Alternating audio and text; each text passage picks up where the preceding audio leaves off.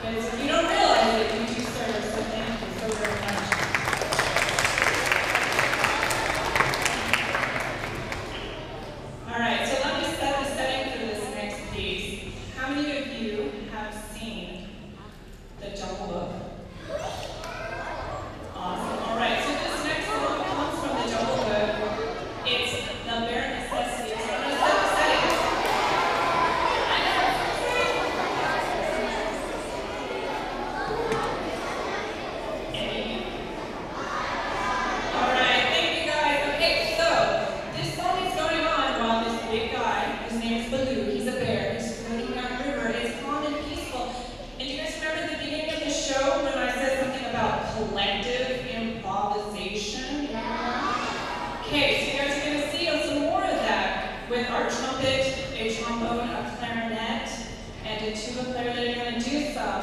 improvisation for you in